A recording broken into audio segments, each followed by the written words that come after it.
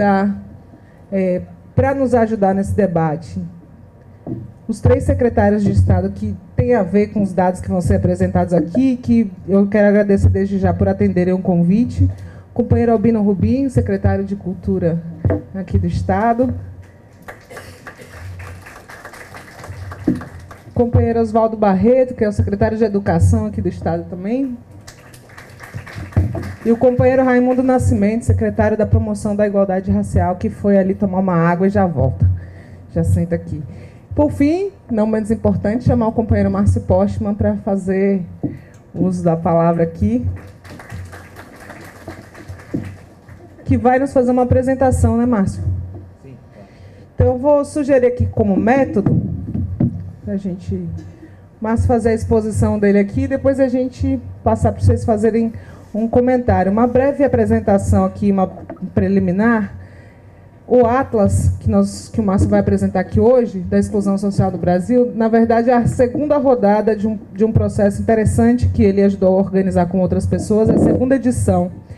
A primeira edição desse, dessa coleção aqui saiu à luz do censo dos anos 90, né? uma análise de dados construída a partir dos dados do censo e a primeira, a primeira é, tomada foram cinco livros que analisaram o censo, que analisou o censo dos anos 90, e esse é o primeiro volume de cinco, segundo me contou Daniel Castro, que também está aí e também é autor do livro. Levanta a mão aí, Daniel, para o pessoal te ver também. Também é um dos autores do livro. É, e esse primeiro livro faz um recorte dos dados. Nós, não por acaso, convidamos esses secretários, porque a partir deles, pelo que eu entendi aqui no preâmbulo do livro, é possível fazer uma análise dos recortes sobre a questão da pobreza, do emprego, da desigualdade, da escolaridade, da juventude e da violência. Então, a ideia é um pouco a gente ouvir a explanação do Márcio.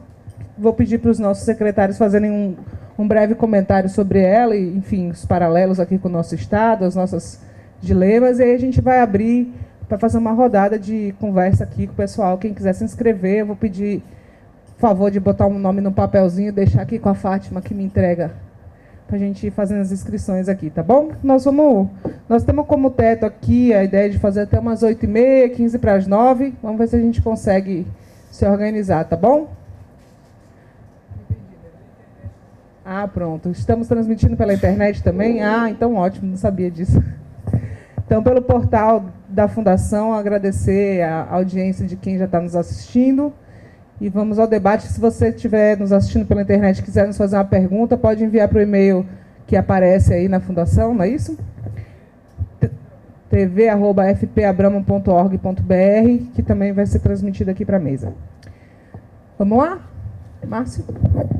Obrigado, Luciana. É, boa noite a todos. Nosso abraço fraterno e solidário aos que se encontram aqui na biblioteca. Mais uma vez, agradecendo a parceria com a Fátima, sua equipe, que nos permite estar aqui em Salvador, tratando de um tema de grande relevância, que é a, a recuperação da temática sobre a exclusão social. Quero cumprimentar também os que nos acompanham pela internet e especialmente os nossos secretários que encontraram um espaço na agenda, agenda de final de governo, agenda do período eleitoral e uma, uma honra enorme tê-los aqui é, nessa, nesse, nesse debate sobre a temática da exclusão social. Eu vou explicar um pouquinho por que, que a gente acabou fazendo esse, esse livro. É, nós é, estávamos em 2001 é, na frente da, da Secretaria de Desenvolvimento, Trabalho e Solidariedade, uma, uma secretaria que foi constituída no imediato governo da Marta Suplicy em São Paulo, e o objetivo ali era construir uma estratégia de inclusão social é, no município paulista, ainda é, num momento complexo do Brasil, final do governo do presidente Fernando Henrique Cardoso, e no primeiro ano de governo, nós tínhamos um recurso é, que é, havia sido definido para os programas sociais da Prefeitura de São Paulo, de 68 milhões, alguma coisa em torno disso, e nós tínhamos feito um, uma, um planejamento de, do, do, que nós temos capacidade de fazer e, obviamente, aquele volume de recursos, que é um volume considerável, 68 milhões, ainda nos dias de hoje, mas era obviamente insuficiente para o tamanho da, da miserabilidade do, do, município, que estimávamos cerca de 500,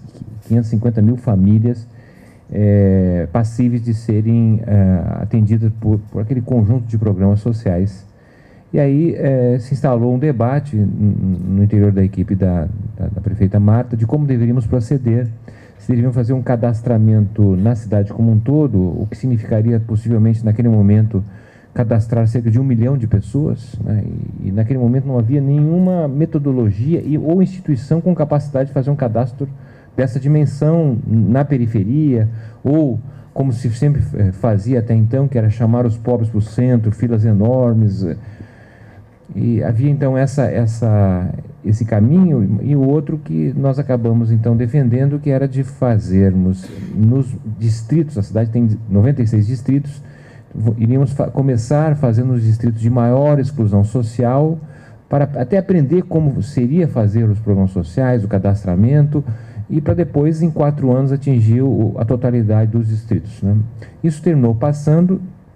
Ocorre que, quando nós abrimos uma discussão para saber em que distritos da cidade, né, o conjunto de bairros, seriam, seriam feitos os programas sociais, aí fizemos uma reunião. Eu nunca morei em São Paulo, embora tenha trabalhado quatro anos lá é, não conhecia muito bem a cidade, para dizer bem a verdade, e aí começou a fazer um debate, e começou, não, tem que ser no distrito X, outro no distrito Y. Daí eu perguntei para um assessor, por que aquele cidadão está defendendo que se faça a aplicação dos programas sociais no distrito X? Ah, porque lá é a base eleitoral dele. Bom, aí começamos a ficar preocupados, porque, obviamente, os programas sociais eh, são resultados de uma opção política, mas não pode, não poderíamos repetir a, o uso político eleitoral, como muitas vezes se fez no Brasil na história passada é, das políticas, sobretudo de assistência social.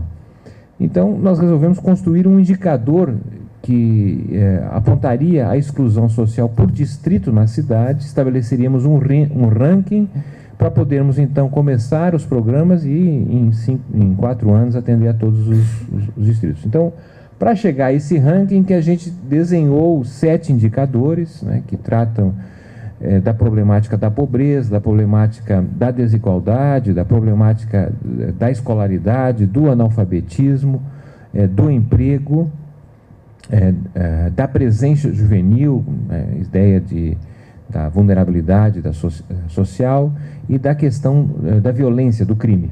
Então, esse conjunto de indicadores nos serviu, foi útil e ao final ali do, do ano 2000 passou a ser o um indicador que a prefeitura terminou utilizando para um conjunto de investimentos em equipamentos públicos, obras e, sobretudo, o CELS, né, o Centro de Ensino Unificado, que ficou uma marca da, do, do, governo daquela época, onde desenhar esses equipamentos. Então, esses indicadores passou a servir de, de orientação para as ações da prefeitura como um todo. Bom, termina aí. Aí, isso em 2002, na, na campanha eleitoral, nós resolvemos fazer, aplicar esse indicador para o Brasil como um todo, pois a, eh, a ideia era oferecer para o governo do, do, presidente Lula, numa possível vitória, a introdução então de uma estratégia de inclusão social a partir de 2003 que teria eh, os municípios, digamos assim, de extrema exclusão social. Onde é que seria a primeira iniciativa? Né?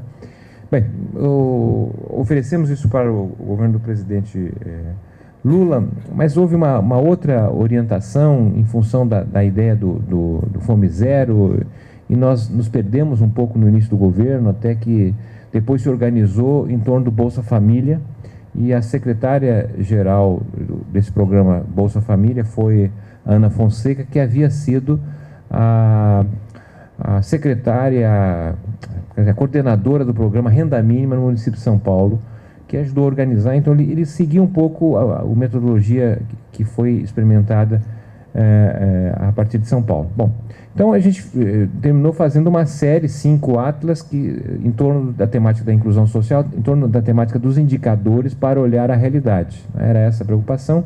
Fizemos um volume que era o indicador da exclusão social nos municípios, depois tivemos uma evolução dos anos 60 até o ano 2000, e que se verificava então a piora, o aumento da exclusão social nos anos 90. Fizemos um, um, outro indicador sobre os ricos no Brasil, acho que um dos primeiros estudos sobre os ricos no Brasil. Como santo de casa não faz milagre, não é? Hoje em dia todo mundo valoriza o estudo do Thomas Piketty, né, que é um estudo sobre o imposto de renda ele disse que não teve acesso aos dados no, no Brasil, que deve ser verdade, então ele fez os, o estudo sobre os ricos nos Estados Unidos, na França, por exemplo, mas esse, esse livro, chamado Os Ricos no Brasil, de 2003, nós utilizamos os dados da Receita, né, onde é que nós estimamos lá que 20 mil famílias controlam 80% do estoque de riqueza do Brasil, tudo com base nos dados do censo. A gente não pôde dizer naquela época que os dados, do é, que os dados eram da Receita Federal, porque apesar de nós termos ficado quatro anos solicitando o acesso às informações da Receita, nunca tivemos acesso, mas, ah, por incrível que pareça, a gente comprou um CD na rua 25 de março, em São Paulo, que tinham todos os dados da Receita Federal. Né? Eu me lembro até, isso em 2007, 2008, numa conversa com o ministro Guido Mantega e a equipe dele como um todo, e eu, naquele momento, falava, estava dirigindo o IPEA, que era necessário abrir os dados da Receita. Não que eu queria saber quem é o João a Maria, mas os dados, como é, como é disponíveis em, em outros países, etc porque eu não achava é, ridículo os pesquisadores terem que recorrer a 25 de março para ter acesso aos dados da Receita. E eis que estava o secretário da Receita falou, não, mas aqueles dados estão todos errados. Eu digo, olha, pode ser que estejam todos errados, mas o meu que eu olhei lá estava certo. Está certo. Mas como eu não poderia dizer que os dados foram da Receita, porque criaria um problema para a gente. Mas agora eu até revelo, porque já faz tempo e parece que já, prescreveu, o, o, já prescreveu o crime, né? O crime, então não tem problema. É, bom, e nós fizemos também um, um, um, um, quarto livro que foi o índice de exclusão no mundo, olhando então o mundo, como é que é, se situa a exclusão por países, etc. E o, e o quinto e último livro foi uma agenda de política não liberal para a inclusão social. Então era uma, uma estimativa de se o Brasil quisesse ser a Espanha em 2020, ou se quisesse ser a, a o a, Esco a, Escócia, a Finlândia, que tipo de investimento precisaria ser feito na área social, seja do ponto de vista da escolaridade, de escolas, universidades, quanto de investimento precisaria para hospitais, postos de saúde, é, quanto de investimento precisaria para equipamentos culturais. Então foi feito um, um trabalho para demonstrar que, na verdade, você precisa um conjunto de investimentos enormes para enfrentar a questão social, que não é apenas a transferência de renda, embora seja absolutamente necessária porém insuficiente. Né? Se você não tiver equipamentos que possa de fato universalizar. Bom, bom, isso foi com os dados de até 2000. Né? Então, é, decorrido um certo tempo, nós reunimos a equipe novamente e resolvemos então atualizar esses mesmos indicadores com base no censo de 2010 e alguns dados relativos à é, violência com, do, do Ministério é, da Saúde. Né? Então, o livro está apresentando o dado da exclusão social relativo ao ano de 2010. Né? E achamos importante trazer esse debate porque, a nosso modo de ver, houve, de certa maneira, é, uma regressão no debate sobre a inclusão, exclusão social, porque se ficou, de certa maneira, muito prisioneiro ao tema da pobreza e da miséria. Né? Obviamente que é importante a, a, enfrentarmos e, e, e, os resultados é, obtidos nesses últimos 10 anos são extremamente animadores. Né? O Brasil é um dos poucos países que consegue reduzir a pobreza e também a desigualdade de renda. A China ela consegue reduzir a pobreza mais rapidamente que o Brasil, mas não consegue reduzir a desigualdade. A China está aumentando a desigualdade, por exemplo. Não é? Então, o, o, esses, a, questão da desigualdade e a pobreza, evidentemente que são importantes, mas não são, a nosso modo de ver, é, suficientes para dar conta da problemática da exclusão social, que não diz respeito apenas e tão somente a quem é pobre, miserável, envolve a sociedade como um todo. Não é? Então, esse olhar mais amplo, mais totalizante sobre a questão social, a nosso modo de ver, é, esse indicador nos permite. Eu já até falei demais, eu vou só passar aqui a explicação o que, que a gente tinha pensado.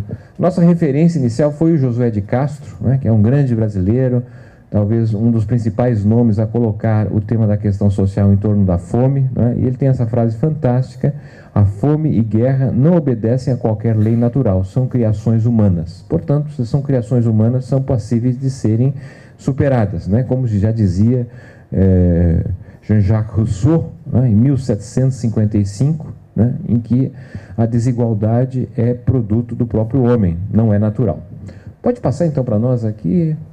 É, eu já falei dessa coisa da evolução dos 10 anos, não é? Pode passar, por favor. Aqui eu vou ser muito rápido, porque a metodologia, eu acho que não posso estou à disposição para explicar ela, mas não é o caso, pode passar. Já falei eh, dos indicadores, né, dos sete indicadores que fazem parte, então onde é que são as fontes de informação, todas oficiais. A fórmula eu vou deixar para um segundo momento, não sei se alguém quer que discutir a fórmula aqui, que é igual ao do índice de desenvolvimento humano. Pode passar essa parte. Pode passar. Ele valia de 0 a 1, um, quanto mais próximo de 1, um, menor desigualdade. Depois tem ainda a dimensão da metodologia, que eu também vou passar. Aí eu, vamos passar. Esse é o mapa que nós temos do Brasil com, da, com base nos dados eh, do Josué de Castro da década de 50, né? que é, obviamente, olhando fundamentalmente a questão da fome. Então, nós temos né, essa área em vermelho, número 1, um, que é a área de fome endêmica identificada por ele, que pega a região norte como um todo, e a parte litorânea do Nordeste, basicamente até o, o Rio de Janeiro, até o Sudeste. Depois nós temos essa, bicho, eu sou meio daltônico, acho que é, que é uma rosa, né? esse três ali e tal, que é a área de epidemia de fome, que pega basicamente o sertão nordestino. E depois nós temos aí o centro-oeste, o sul maravilha, como sendo áreas de subnutrição. Né? Então, esse é o, é o, diagnóstico que se tinha com base no dado de, de, de, de, fome, vamos dizer assim, de 1950. Agora nós temos o dado de 2000. Né? Que é o índice de exclusão social. Então, ele não está olhando apenas a fome, está olhando indicadores mais amplos, mas ele, de certa maneira, não é, é o indicador, é, o, o, sinalização em vermelho é a, a, mais baixa referência em termos de, de, de, mais alta situação de exclusão social e a verde seria a menos grave. Né? Então, para nós, os pontos verdes são os pontos onde nós teríamos maior inclusão social ou menor exclusão social, tanto é que quando a gente fez o estudo, a gente dizia que o Brasil era um país constituído de algumas ilhas de inclusão social, rodeado por um mar da exclusão. Né? Agora nós temos o dado de 2010. Percebam que ainda nós temos a mancha de vermelho pegando norte e nordeste, mas ela já é bem é, menos extensa do que nós tínhamos no ano 2000. Né? A presença do amarelo e, sobretudo, do verde já ganharam maior dimensão. Se quiser, volta para o 2000 só para as pessoas fixarem. Olha, esse é 2000 e 2010. Olha como a situação fica menos intensa. É, o problema do, do, do, norte, sobretudo, é que é, os municípios lá são muito grandes. Né? Então, é, essa, essa, essa apresentação tem como referência o município. Então, por isso que, o, infelizmente, o norte tem essa, essa sinalização ainda mais vermelha. Mas, enfim, esse é o nosso, nosso indicador.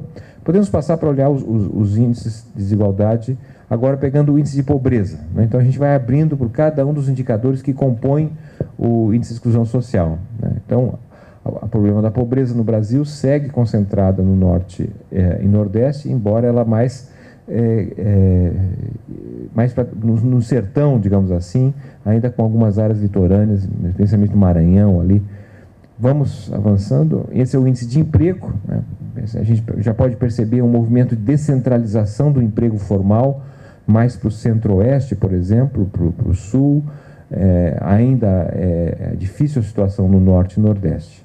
Podemos passar para o próximo, porque agora é o índice de desigualdade, ele é medido pelo índice de Gini, que varia de 0 a 1, um, quanto mais próximo de 1, um, maior a desigualdade. Né? O índice de Gini é como se nós pegássemos todos os brasileiros perfilados de menor a maior rendimento e medíssemos a desigualdade média entre cada um dos indivíduos no Brasil. Né?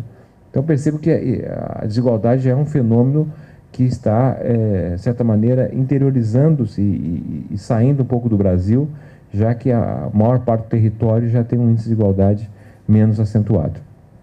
Podemos passar para o próximo, que é o problema da alfabetização, né, que praticamente, é, ainda que para nós seja difícil, né, em pleno século XXI, termos 12% da população que não conhece a língua pátria, mas é algo circunscrito a, a determinados pontos da geografia brasileira é, e, ao mesmo tempo, mais especialmente a determinadas faixas etárias do nosso país, revelando a problemática da exclusão, especialmente é, para os chamados não brancos, né, que ficaram por tanto tempo fora do acesso de uma educação. Podemos passar ao próximo, que aí é o índice de escolaridade, né, que também revela é, a sua, sua situação é, de maior intensidade em determinados pontos, mas não é uma faixa extensa como tínhamos no ano 2000.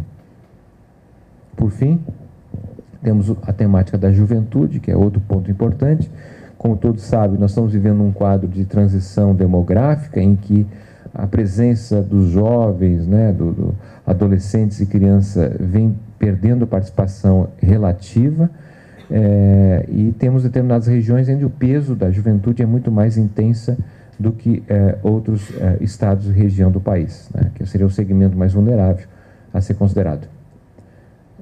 Pode passar o próximo. Aí nós temos a problemática da violência, que é, é grave em determinados municípios, né? certamente a violência rural, olhando ali a região norte, o Pará né, como referência, Rondônia, Mato Grosso, áreas de conflito de terra, mas também temos nas metrópoles, em determinadas eh, cidades litorâneas do Brasil, que seria então um problema de violência eh, urbana. Né? É claro, se a gente tivesse eh, condições para poder demonstrar o quanto a violência atinge determinados segmentos da sociedade, especialmente os mais jovens, especialmente os não brancos, que ela é, é mais grave, mas assim nós estamos olhando o painel de maneira geral perfeitamente. A questão regional, então, aí nós seguimos tendo um peso muito grande é, da, da exclusão social no norte uh, e nordeste, não é? é? que é realmente uma, uma região que, que exige maior uh, cuidado do ponto de vista da continuidade da, da política pública, não é? mas já não é tão intenso como foi no passado. Vamos ver se tem mais alguma coisa que vale a pena mencionar. Pode passar. Sim, se nós tivéssemos que optar, né, dado o recurso existente, por onde, quais municípios né, nós deveríamos é, enfrentar, então esse aí sinalizaria para nós onde estão os municípios de maior gravidade da exclusão social. Né, são as manchas de extrema exclusão social. Precisasse fazer uma, uma ação, é, olhando os indicadores de exclusão social, seria então essas localidades que exigiriam maior atenção é, do ponto de vista das políticas públicas no plano federal. Bom, aí a questão do, dos municípios, né, a concentração dos municípios, da população. Nós temos um, um peso muito grande dos municípios de, de, de população com menor quantidade de, de, habitantes e se localizam, é, também voltam a, a reforçar é, o peso do Norte e Nordeste. Deixa eu ver se tem mais alguma coisa.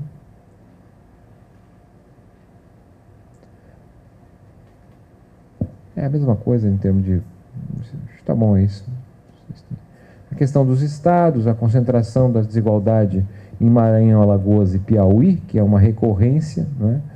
É, a Bahia eh, fica, eh, de maneira geral, do ponto de vista dos, dos municípios e dos habitantes, não é? é? em quinto lugar, olhando dentro da conta do, do, do Nordeste. Pode passar. Depois, no, bom, aí tem a questão das, das grandes regiões, né? O, o estado com, pode passar, o estado com menor desigualdade, é, com menor exclusão social é o estado é, de Santa Catarina. Acho que está bom. Bom, é isso que teria para apresentar. Obviamente aqui é uma questão mais geral. O, o livro ele dá mais detalhes do ponto de vista de cada um dos estados e enfim, uma tentativa de olhar o Brasil como um todo e ver ainda o que já avançamos bastante nesses últimos 12 anos, né, mas temos ainda muito o que fazer num país que tem uma herança de exclusão de longa duração. Obrigado.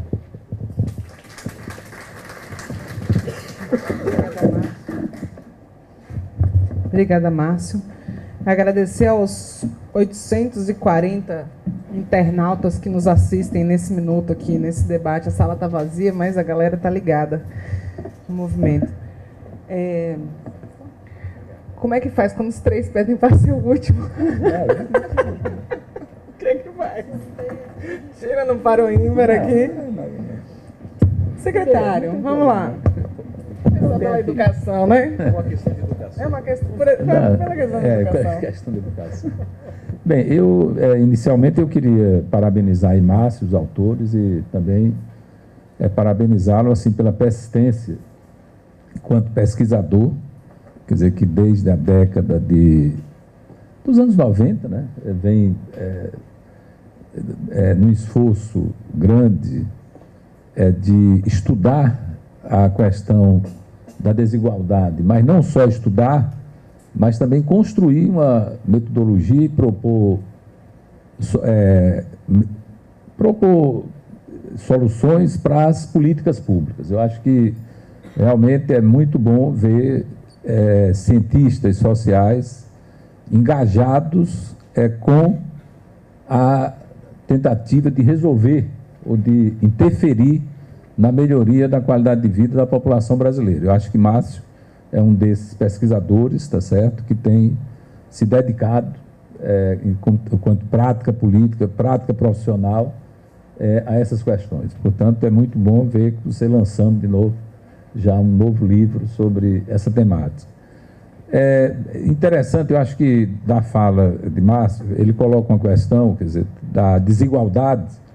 Ele usa um termo, inclusive, que ele diz que houve uma regressão, na realidade, no debate sobre exclusão social, porque muitas vezes essa questão se coloca só do ponto de vista da renda, quer dizer, da melhoria de renda. E nós vemos hoje que, claro, o crescimento da renda, na realidade, ele coloca uma nova agenda de exclusão. É impressionante como ele coloca a agenda de exclusão. E eu tenho dito sempre que, apesar do esforço que vem sendo feito no Brasil é, nos últimos anos, e eu creio que esses dois, três, dois governos, quer dizer, o governo de Lula, os dois períodos de Lula e os dois períodos de Dilma, eles são marcantes no processo de alteração da discussão sobre a exclusão social. Quer dizer, mas ao mesmo tempo que nós avançamos na questão, por exemplo, da renda dos mais pobres, a garantia de uma renda mínima para os mais pobres, a garantia de um melhor salário mínimo, a ampliação do emprego, quer dizer, isso é um elemento importantíssimo, o emprego formal, de, com carteira assinada. Quer dizer, veja que há avanços imensos, a própria educação, por exemplo, que é, o nível de inclusão na escola cresce, mas ao mesmo tempo cresce o processo de exclusão. Quer dizer, é uma coisa paradoxal que você aumente a, a oferta de escolas, quer dizer, aumente a oferta de inclusão social pela via da escola, por exemplo, e ao mesmo tempo você amplia a exclusão, quer dizer, no sentido de que cresce, por exemplo, um grave problema que permanece nas escolas, que é a questão da alfabetização plena das crianças, por exemplo.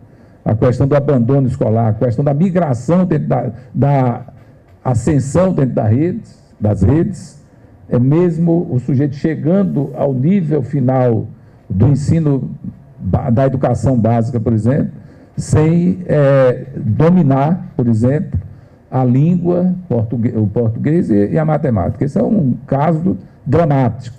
E lógico que muitas vidas, muitos jovens, vão ficando para trás. Eu tenho dito, assim, sempre que no caso da escola especificamente, ela guarda um processo de exclusão e uma certa perversidade é do ponto de vista de que a escola, Márcio, ela tem sido, talvez, no Brasil, uma das é, máquinas mais perversas de racismo institucional. Eu creio que a escola no Brasil, e na Bahia eu posso afirmar isso, ela é uma escola que reforça o problema do racismo institucional. Quer dizer, ao negar a maioria de crianças negras que frequentam essa escola, os pardos, os pobres, os indígenas, é o direito de aprender, quer dizer, o direito de, de uma aprendizagem plena.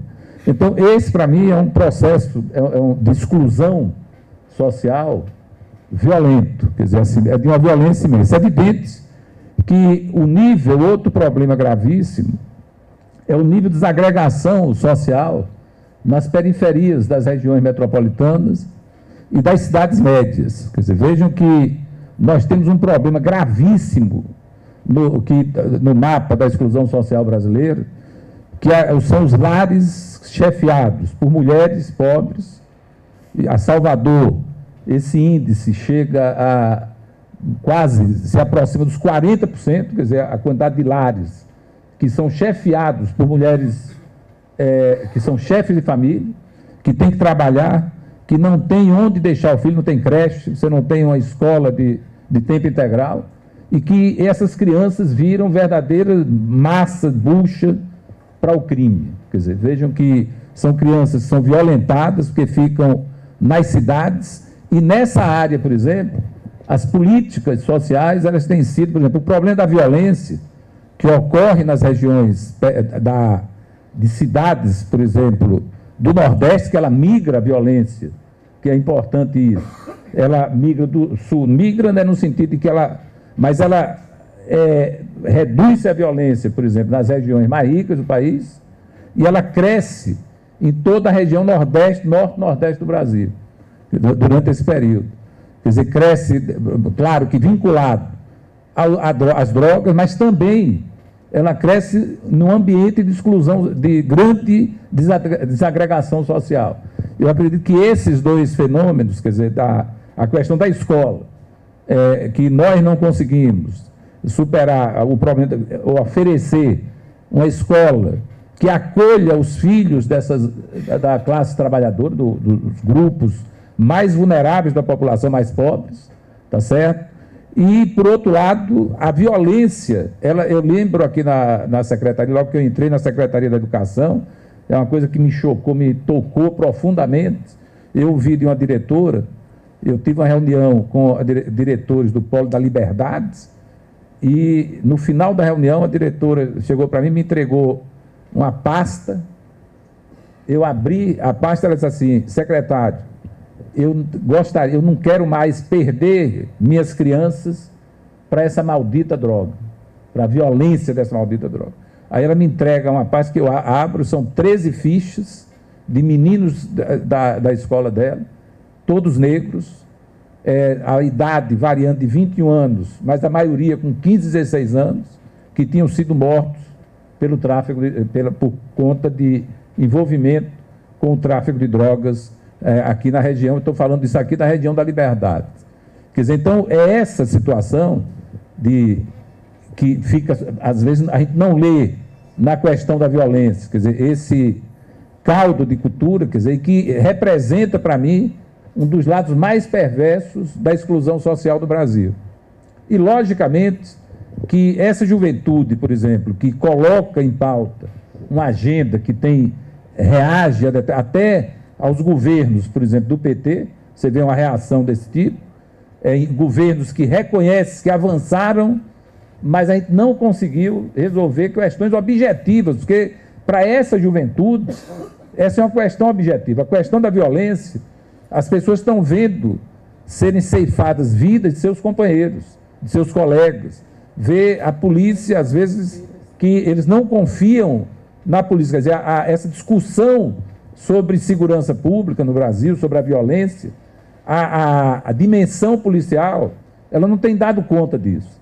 Vide o Rio de Janeiro, com a questão das UPPs e de vira e mexe, estoura cenas de violência praticadas pela própria polícia. Quer dizer, então a gente tem um quadro que realmente tem que ser, Albino vai é, discutir certamente, eu não vou entrar na área de, da cultura, mas eu diria, Albino, que uma outra dimensão que terrível na nossa sociedade é a questão da cultura. Veja, nós temos hoje praticamente, e eu vou só tangenciar aí, não vou ah, entrar nessa discussão, mas, e também encerro minha fala, eu acho que já falei demais, é, a questão da, da cultura, por exemplo, é um problema gravíssimo. Quer dizer, hoje você não tem realmente o acesso à cultura, é um problema sério para a juventude.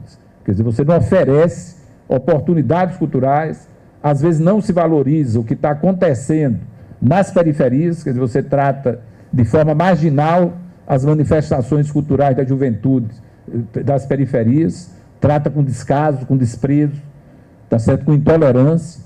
Então, é esse quadro que eu acho que tem muita coisa aí para a gente é, superar e talvez incluir, Márcio, nessa discussão é, sobre a questão da exclusão social no Brasil. Quer dizer, e certamente uma nova agenda, ela está posta. Quer dizer, eu creio que a sociedade brasileira, as manifestações que ocorreram em junho do ano passado, ela coloca, ela chama atenção é, para nós da, da, esquerda brasileira, quer dizer, uma, uma nova situação. Eu acho que, é claro que isso existia, mas a gente não imaginava que ela tivesse tão latente, tão a ponto, tão presente, a ponto de explodir é, numa coisa que altera todos os quadros de análise política que se fazia até aquele momento, e logicamente que isso se dá de uma forma ainda que a gente não consegue é, compreender perfeitamente, quer dizer, o que é, qual é o significado desses movimentos. A gente está vendo só é, as manifestações né, desse fenômeno que ocorre aqui, ali, pipoca aqui e ali, mas certamente a gente não deu conta ainda de compreender esse fenômeno, dessa explosão social que ocorreu na sua totalidade. É, portanto, é isso que eu colocaria aí algumas questões e, mais uma vez, parabenizar é, pelo trabalho, pelo esforço e pela influência que você tem exercido aí nas políticas nessa área da, da, do combate à exclusão social no Brasil. Obrigado.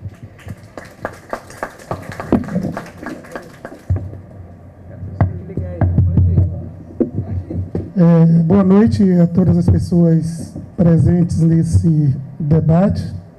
Eu queria de início agradecer à Secretaria de Cultura por ter nos convidado para contribuir com esse debate. Né? Saudar o Márcio Postman, o colega secretário da Educação, Oswaldo Barreto. Dizer que esse mapeamento é um instrumento importante para que os governos eles possam olhar com profundidade é, o nível de exclusão da, que ocorre no Brasil. Mas, Márcio, eu queria destacar uma questão que eu acho que é importante para o seu próximo livro, é que você dê um recorte, e um recorte racial em relação ao processo de exclusão no Brasil, para que não fique algo muito parecendo genérico, né? Então, acho importante não tratar só as regiões como é, regiões de exclusão, mas são regiões que têm característica e que o seu povo tem marcas e tem identidades. Então, acho interessante que no, no seu próprio próximo trabalho você possa descer com detalhes a essas questões. Por que, que eu estou dizendo isso? Porque tratar de exclusão no Brasil, a gente, para tratar de exclusão no Brasil, é necessário tratar a formação da sociedade, como se estabeleceu e se formou a sociedade brasileira. E a sociedade brasileira se formou a partir exatamente do processo de exclusão das populações, dos descendentes de africanos e dos indígenas que viviam aqui. Então, o resultado, nós entendemos que o resultado desse processo de exclusão no Brasil passa por aí. E por entender que passa pela formação da sociedade brasileira, pela pelo início da sociedade brasileira, é necessário dar um foco, sempre que nós fizermos estudos sobre fome, exclusão, desigualdade, que a gente dê esse recorte, porque talvez a gente é, encontre. Talvez não, a gente encontra elementos que revelam exatamente o, o desdobramento no dia de hoje, né? no presente. Se nós observarmos, né, o Brasil não resolveu um problema que é profundo, que é o problema da terra. A luta do MST, a luta dos quilombolas, a luta dos pescadores, das marisqueiras. A luta dos povos tradicionais do Brasil foi uma luta pela, pelo direito à terra. E esse é o elemento que revela com profundidade a exclusão do Brasil. Ou seja, quem é essa população ribeirinha? Quem é essa população que está exatamente no interior e que é, iniciou o seu processo de ocupação nas zonas consideradas mais urbanas, mas tiveram que fugir para o interior dos estados em função do processo de escravidão, escravização, né? seja do indígena, seja, seja do negro. E foi povoando outras áreas, portanto, a gente encontra grupos indígenas e grupos quilombolas espalhados não só pela Bahia, mas pelo Brasil. Então, a questão da terra é um elemento de profundidade nesse debate. Um outro elemento interessante para análise é o trabalho, né? Ou seja, está revelado também que os homens negros, sobretudo as mulheres negras, é quem menos acessa o mercado de trabalho e que é menos a renda é menor em relação aos homens e mulheres brancas. Então esse é um outro elemento importante que revela a desigualdade é, em relação a essa população. Um outro elemento é, é a escola, como o professor Barreto colocou, né? Ou seja, o nosso acesso à escola foi muito tardio.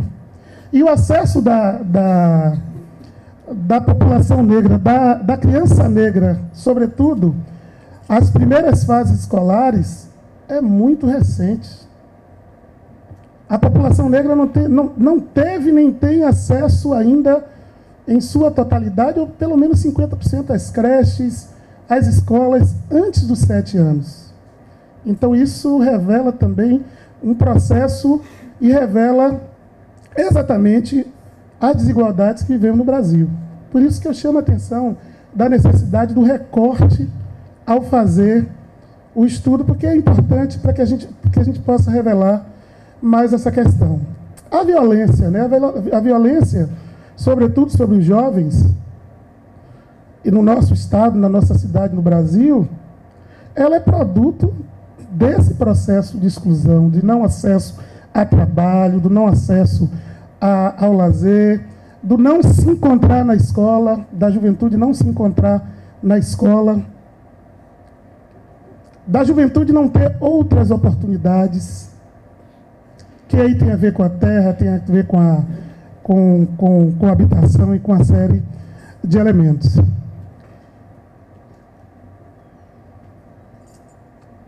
Questão da habitação, se nós corremos o Brasil, sobretudo nas metrópoles, nós vamos ver a situação em que vive essa população, né? as residências. Por mais que nos últimos dez anos, como foi colocado aqui, é, houveram programas importantes que chegaram mais próximo dessas populações, mas o nível de. e o grau de acesso ainda é muito pequeno. E isso revela exatamente o que a gente está discutindo aqui, que é a questão, da, da, a questão das desigualdades sociais no Brasil. Então eu queria, só para fechar, porque eu acho que esses elementos já são elementos assim que nos dá é, caminhos, não só caminhos, mas eu estou aqui provocando para que a gente, esse debate ele se amplie, né? Estou trazendo esses elementos como elementos que eu entendo ser importantes, serem importantes para ajudar no debate. Eu queria dizer, queria assim, dizer da importância do seu estudo, né, dizer que a cada momento que, principalmente seu papel no IPEA, que foi um papel importante, que revelou uma série de elementos que não eram revelados no passado no Brasil, e eu acho que isso é possível porque nesses últimos dez anos houve cenário e, e um campo fértil para essas discussões. Né? Então, eu queria só também parabenizar o seu trabalho, dizer que é, você traz elementos importantes para o debate, mas que a gente precisa aprofundar mais, sobretudo nessa questão do recorte racial no seu trabalho. Então, obrigada. Boa noite.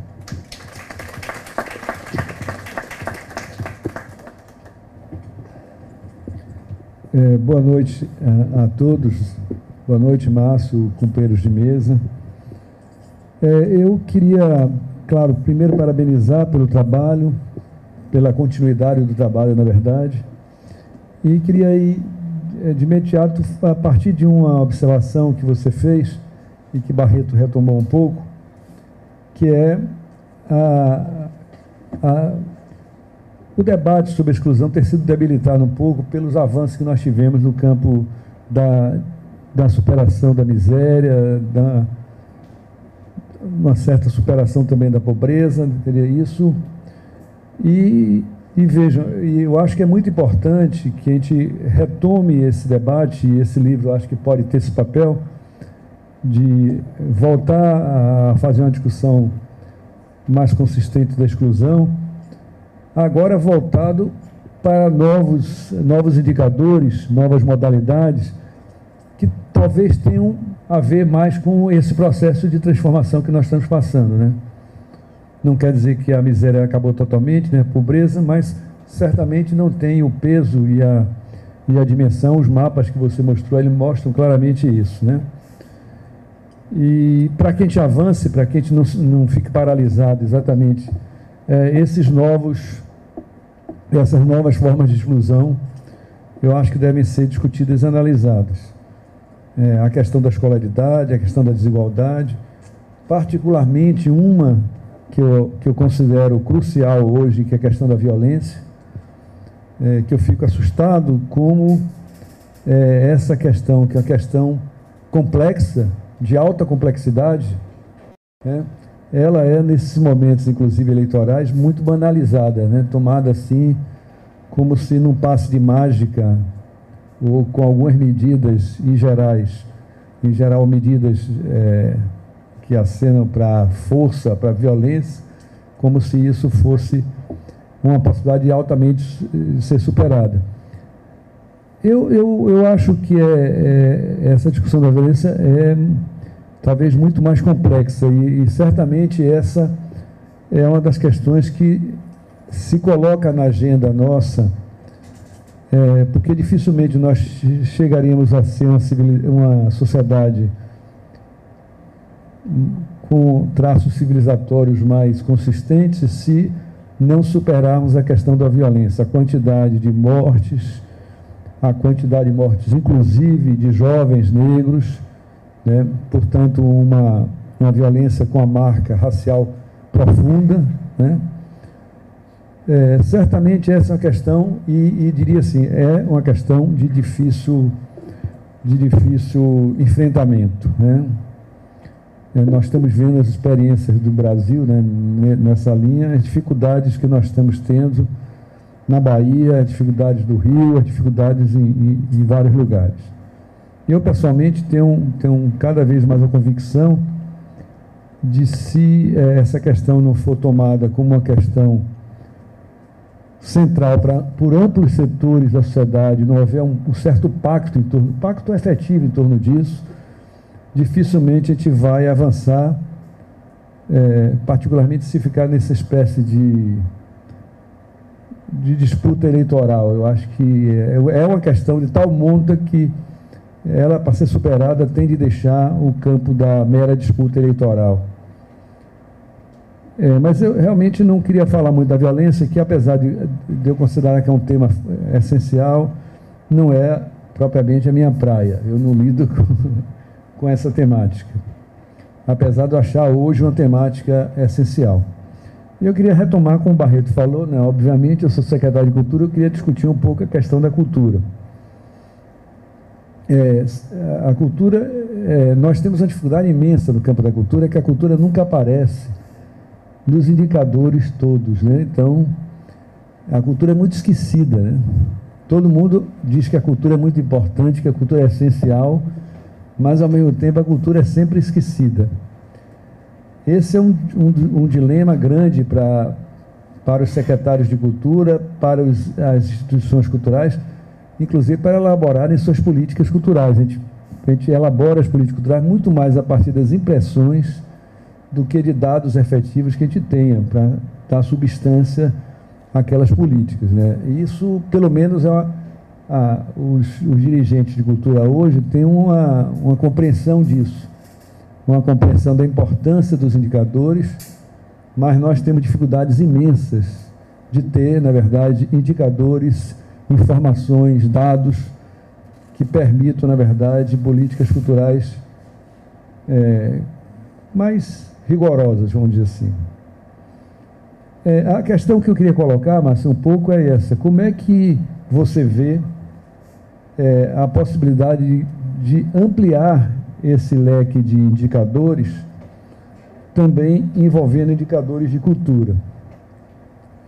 Eu acho que as mudanças que aconteceram e os movimentos recentes, inclusive aqueles movimentos que tiveram em torno de junho do ano passado, acenam, na verdade, para novas demandas sociais sem dúvidas necessárias nesse processo de mudança. Eu acho que nós avançamos, como foi dito aqui, em aspectos sociais e econômicos, é, mas é, no, não avançamos muito, eu acredito, mas aí é outra discussão, na, numa dimensão mais política, quer dizer, a questão da reforma política está aí colocada como essencial. Isso eu acho que bloqueou muito o nosso processo de, de de transformação do país e, particularmente, é, não avançamos muito no, no campo da cultura. É claro que é preciso reconhecer que durante o período de Gilberto Gil no Ministério e Juca Ferreira depois, é, nós tivemos um avanço importante no sentido de que até aquele momento no Brasil nós só, só tivemos políticas culturais em períodos autoritários. Quer dizer, nós tivemos uma grande intervenção do Estado, né, de dimensão negativa, mas de, de, também de dimensão propositiva, no Estado Novo, quando foram fundadas um conjunto grande de, de instituições, de, de, de normas culturais foram instituídas, né? inclusive o IFAM é desse período, né? não, é, não é por acaso. Depois, na ditadura militar, quando nós tivemos também a, mesma coisa, particularmente de 74 em diante, não é por acaso também que a Funarte é desse período, né? E nós não tínhamos, na verdade, uma prática de políticas culturais nos períodos democráticos. Né?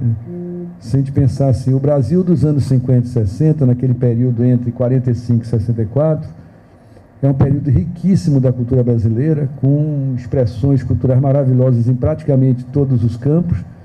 As políticas culturais são totalmente pífias nesse momento de todos os governos. Né? Isso não impediu que nós tivéssemos manifestações culturais maravilhosas. Mas vejam, nós então vimos de uma tradição de políticas culturais em períodos autoritários e, e da falta de políticas culturais em períodos democráticos. A redemocratização de 85 não, não mudou muito esse quadro, porque nós tivemos o período Sarney, Collor, é, Sarney, Collor é, Itamar uma instabilidade geral do Ministério da Cultura, que foi criado em 85. Né? Eu contabilizei 10 dirigentes em, em nove anos. Né? Por mais brilhantes que fossem esses dirigentes, uma figura como Celso Furtado foi ministro da Cultura, mas por mais brilhantes que eles fossem, não dava para fazer políticas de cultura. Depois nós tivemos oito anos de estabilidade no Ministério, mas com, Fernando, com Francisco Verfoc, propriamente também não elaborou políticas culturais, dado inclusive é, o pressuposto que o Ministério da Cultura tinha naquele momento, que era que, na verdade, o mercado ia resolver as questões da cultura brasileira. Né? É, e, então, é, nós podemos dizer, e isso, não estou dizendo isso porque sou baiano, mas nós podemos dizer que políticas culturais no período democrático, no Brasil, começam com Gil né?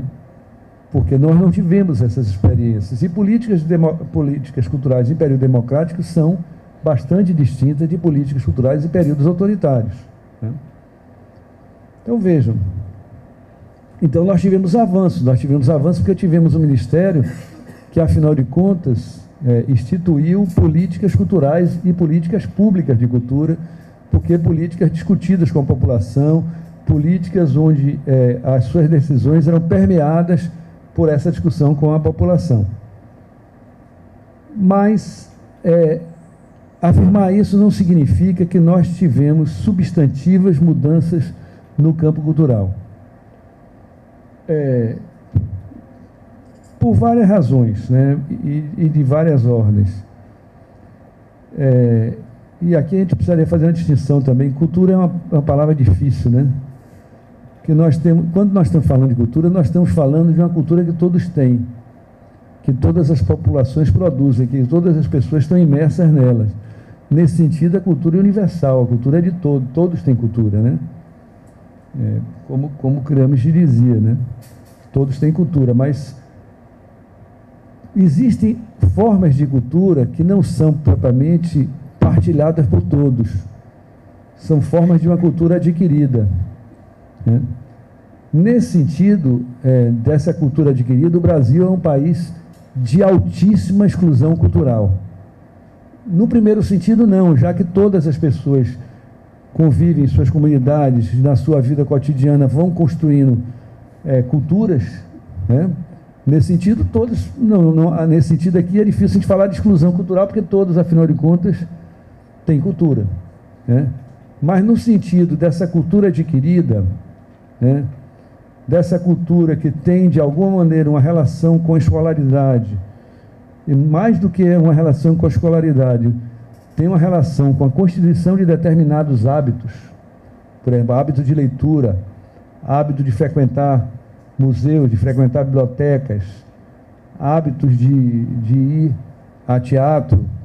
Né? Então, essa cultura, que é uma cultura adquirida, portanto, que não é uma cultura partilhada por todos, essa cultura no Brasil é altamente excludente. Os indicadores de leitura no Brasil são baixos, mais baixos do que alguns países sul-americanos, como a Colômbia, por exemplo. Os índices é, de de frequência de bibliotecas, de frequência de museus, de frequência de galerias, de frequência de teatro, de frequência de cinema. Quer dizer, todas essas formas culturais são formas culturais de alta exclusão no país. Por razões várias, por, por razão pela falta de hábito, de escolaridade, mas também pela falta de oferta. Né? Se a gente imaginar que no cinema nós temos 5.500 municípios, por aí. É, e temos no Brasil hoje algo em torno de 2.500 cinemas. É, então, se fosse verdade que um cinema fica em cada município, coisa que não é, obviamente, tem municípios que concentram 50 cinemas, 20 cinemas, etc. e tal. Se fosse um para cada município, nós teríamos metade, mais da metade dos municípios brasileiros sem nenhum cinema. Então, certamente nós temos no Brasil algo em torno de, sei lá, vou, aqui é um, uma, uma ilação, é em torno de 3 mil e tantos, 4 mil municípios no Brasil sem cinema. Quer dizer, a experiência do cinema, que é uma experiência cultural importante, né, que tem sua singularidade, é proibida, é interditada no Brasil para todos os habitantes desses municípios, a não ser que eles vão num município vizinho mas na vida cotidiana isso está excluído da né? cinema. Museu é, é uma enormidade. Quantos museus existem? Como eles estão espalhados no Brasil? Então veja, eu, eu acho que talvez esse indicador aqui da, dessa cultura que eu estou chamando de uma cultura adquirida, não da cultura que, que, é, que é uma cultura de todos, é, seria também um indicador importante.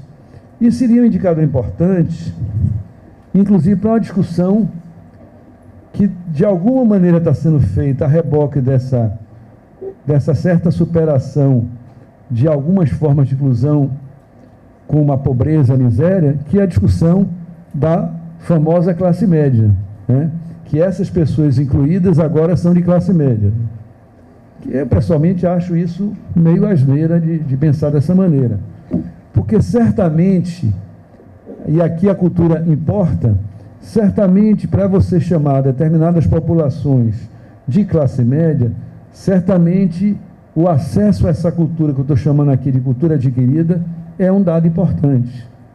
Quer dizer, essas populações que foram agora incluídas, elas não têm é, esse acesso a essa cultura adquirida. Isso está totalmente fora do horizonte.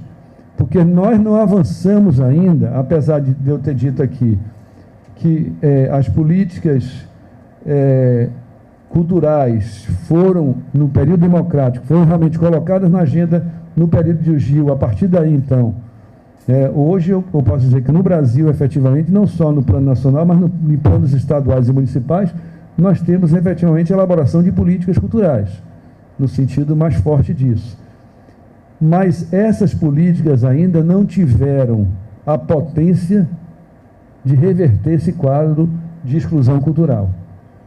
Então, esse quadro de exclusão cultural, eu desconfio que se nós pegarmos ele há 10 anos atrás e compararmos com 10, an 10 anos, a mudança nele, diferente do que acontece, do que você expôs, do que você mostra nesses, nos seus estudos, eu te, tendo a desconfiar que a, a mudança nesse quadro aqui vai ser muito pequena porque nós não tivemos políticas gerais e políticas culturais que tivessem a potência de, de, de reverter esse quadro. E nós sabemos que, efetivamente, se queremos ter um país com mínimo é, que tenha um desenvolvimento efetivamente cultural e que esse desenvolvimento cultural seja para todos, seja democratizado, essa questão do, do acesso a esse tipo de cultura.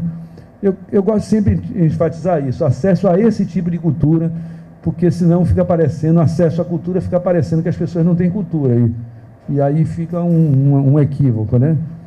Mas certamente o acesso a esse tipo de cultura, quer dizer, a, a mudança desses indicadores é fundamental para o desenvolvimento do Brasil. Né? Eu queria que você refletisse um pouco sobre isso. Eu sei que está fora do seu estudo, mas é uma coisa para adiante. Né? Enquanto secretário de Cultura, eu tenho a obrigação de colocar essas coisas.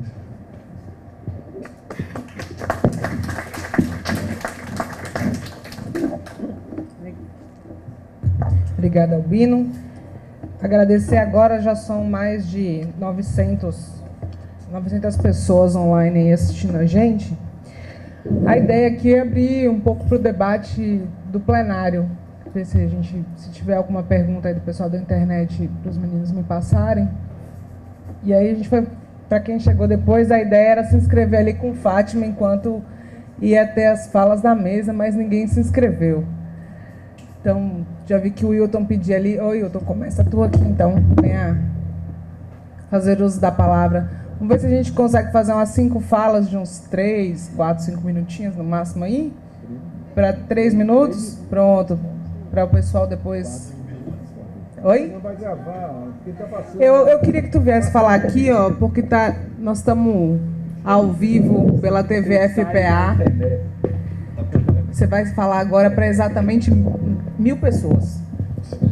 Pense nisso. Cuidado, hein? Ok. Eu quero me dizer que o convite que o professor Oswaldo me fez para vir aqui, muito obrigado. É... Lu, eu digo o seguinte: se essa sala tivesse apenas Postman aqui, ela não estaria vazia. Com nós ela está superlotada.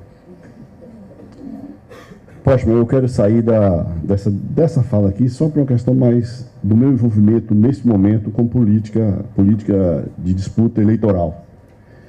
Por que, que o Estado do Acre, que nós estamos lá com 22 anos gestando aquele, gerenciando aquele Estado, fazendo a gestão daquele Estado, nós, nós estamos ali nos piores, em todos os piores índices. Só isso. Se não, se não for do, do, do seu estudo, não precisa.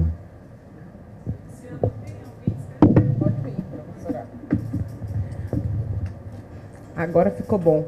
Estou vendo os meninos do plebiscito ali, lembrar o pessoal que tem. O secretário Albino fez uma grande. Deixa eu, Vilma, deixa eu só dar um recado ali. Ó. O pessoal do plebiscito, pela Constituinte Exclusiva, está ali no fundo, tem uma urna quem não votou ainda, participe. Nós estamos construindo essa semana do plebiscito nacional pela Constituinte Exclusiva para a reforma política.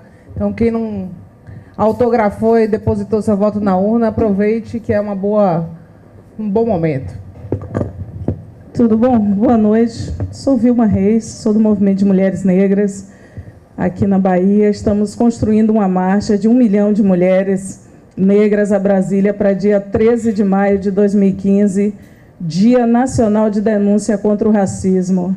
E para a gente é muito importante o debate que está estabelecido desde a, das CODES que ocorreram, né? foi a última vez que eu te vi por aqui pela Bahia, mas nós acompanhamos com muita atenção uma eleição que parecia de um município e que, na verdade, foi uma espécie de plebiscito e de uma disputa que estava posta na, e foi nacionalizada, que foi a eleição de Campinas.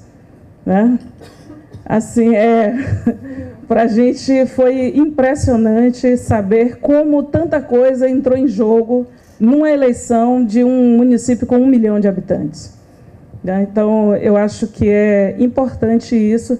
E gostaria de te perguntar mesmo é, que experiência doida foi essa de uma eleição no município ser nacionalizada? Quer dizer, todas as sabatinas da Folha de São Paulo e da chamada grande mídia desse país, elas focavam em Campinas, né? E para a gente é importante pensar como que você tem quadros super qualificados que vêm de uma intervenção importante no IPEA e que depois você passa por um jogo político que eu considero perverso e a gente desembocou naquele resultado de eleição naquele município e que na verdade era uma sabatina com o Partido dos Trabalhadores. Né? Isso é uma questão. A outra questão, secretário Albino, em relação à política cultural. Eu fiquei interessada porque é, eu adorei assim a forma como você tratou aqui, porque nós entendemos também que a passagem de Gilberto Gil pelo Ministério da Cultura virou para, quer dizer, uma coisa é a geração de Francisco Vefor e foi um, foi um, digamos, nós estabelecemos ali um, um marco que mudou absolutamente o que era o Ministério da Cultura e o que ele passou a ser. Nesse sentido, eu volto a uma outra questão que, mais uma vez, o, é, a esquerda brasileira foi sabatinada, que é com a ação penal 470, é, que se passou no Supremo e chamar aquele processo de ação penal 470, isso é uma posição política. E eu faço essa pergunta, que não é uma pergunta, é para a gente pensar que a fala do José Disseu, na passagem daquele processo, é de que o Brasil é, é como se eles estivessem sendo crucificados, presos no país, porque nós não criamos uma cultura de esquerda. Né? E nós, do, dos movimentos negros, nas mais variadas faces, nós entendemos que para criar uma cultura de esquerda passava também por um processo de enfrentamento no Brasil que Cristina Kirchner fez na Argentina, enfrentando inclusive o Grupo Clarim. Né?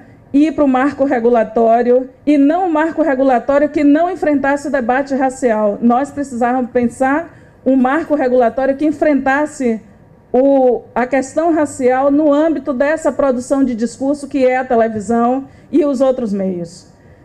E eu faço essa questão porque quando o próprio José Disseu disse ali, nós, ao longo de uma década, não criamos, ou a própria resposta que foi para a rua no, no junho do ano passado, agora o próprio IPEA fez um, um boletim, o boletim número 4, que avaliou aquelas questões, foi um documento publicado a partir do Rio de Janeiro e que pensou né, nessa, nessa questão, saiu uma publicação e pensou nessa questão. Eu fico pensando, como foi que a gente não criou uma cultura de esquerda se nós mesmos tivemos toda a dificuldade, vide a situação de Franklin Martins, né? Vide a situação das rádios comunitárias, vide as dificuldades de debater o próprio marco regulatório, vide a situação de você fortalecer aquilo que parece tão é, difícil do ponto de vista da comunicação e que nós precisávamos dar força exatamente para aqueles que estavam enfrentando né, o mainstream enfrentando aquilo que era tão grande e não houve essa possibilidade em que pese as bases estavam dadas desde os pontos de cultura. Né? Desde a cultura de cineclubes, secretário Raimundo, né? que secretário Raimundo participou, está ali, participou. Esta sala em homenagem a um homem que fez essa política, que é Luiz Orlando. Nós tínhamos toda a política desenhada e não foi possível chegar o momento da gente dar força também para isso e a gente pensar num outro mecanismo. Então, eu fico pensando onde foi que a gente não conseguiu.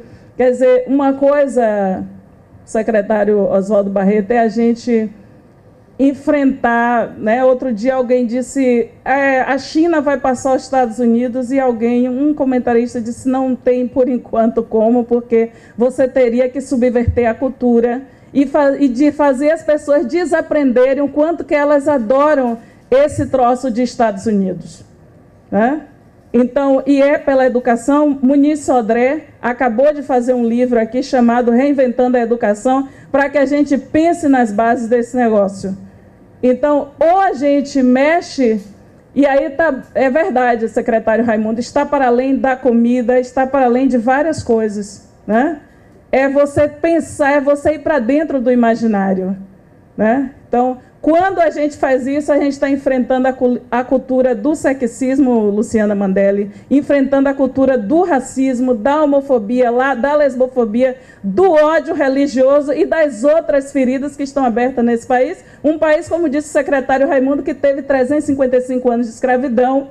E você não tem como fechar isso e seguir em frente. Lembrando o velho Habermas, temos que pensar na reforma do passado, então a gente não segue. Então eu acho que pensar nessa cultura de esquerda passa por isso. E passa por uma cultura de esquerda que leva em conta que é o movimento negro que tem forçado a esquerda a ser mais esquerda.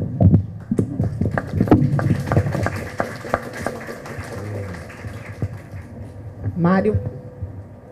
Mais alguém, gente? Se animou aí?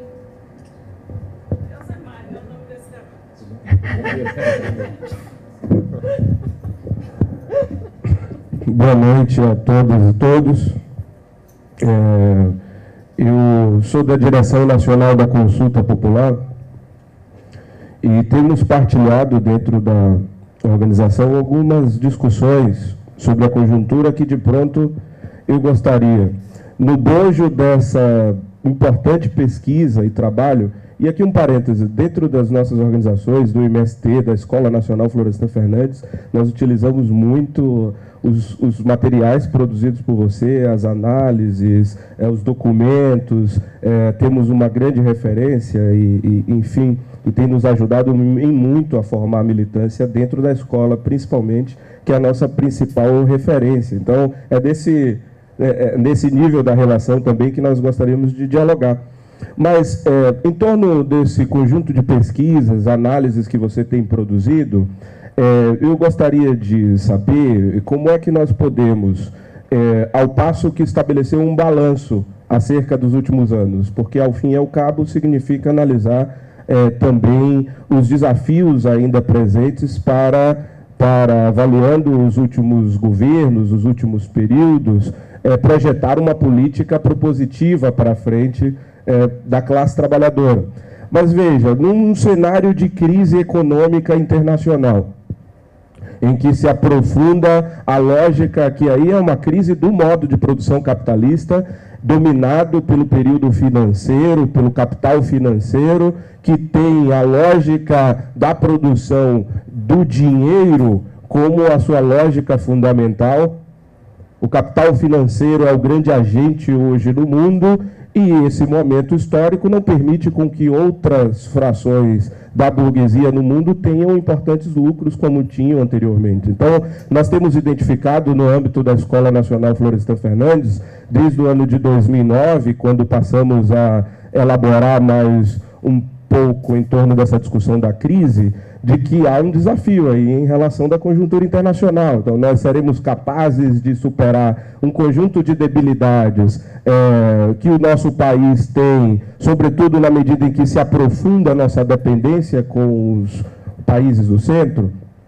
Obviamente, que, do ponto de vista da política internacional, há uma diferença entre os governos, notadamente neoliberais, aos governos Lula e Dilma, sem dúvida. Mas o imperialismo, enquanto força política no mundo, continua é, como agente central que inviabilizam as grandes reformas que são a força necessária para superar um conjunto de dificuldades que nós temos na sociedade brasileira. Então, é, o que que dessa crise econômica internacional nós precisamos extrair de leitura para compreender o que está em jogo na conjuntura e por onde que pode passar um projeto alternativo de poder dos trabalhadores e trabalhadoras em nosso país.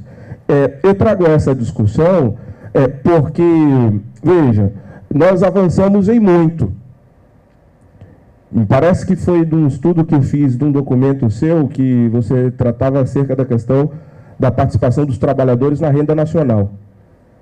Salvo engano, no período de Vargas, a participação era de 55%.